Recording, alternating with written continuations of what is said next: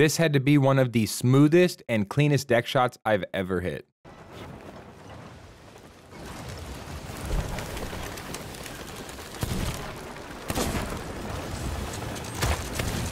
That was disgusting.